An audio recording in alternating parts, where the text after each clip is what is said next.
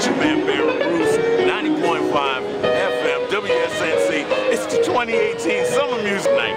You know how we get down. When we said we were going to bring you the new, we brought you the new.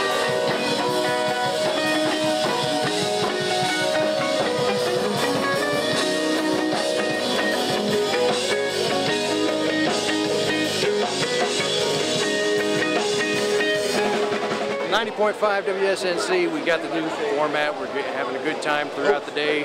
I'm taking you 10 a.m. to 3 p.m. every day. Hey, this is Joe Dredd, WSNC.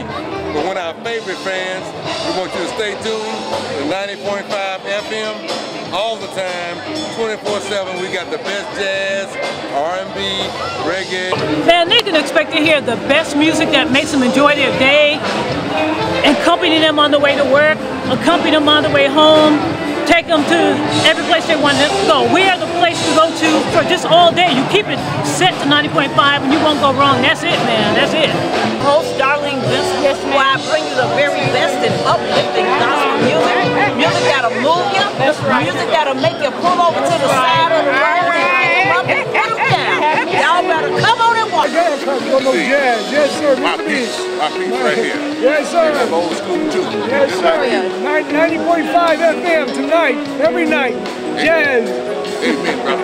I'm Charles McCullough, your host for Classic Oldies on 90.5 WSNC, and I'm here with Angie. Angie.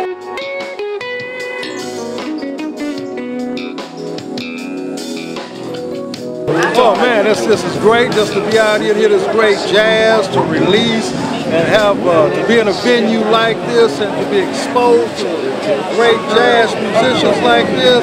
I mean, you can't ask for anything else better, especially in the great. city and state of North Carolina. What's Big Coach here. Yes, the Don himself. He's out here representing at the 2018 Downtown Music Fest. I'm having fun.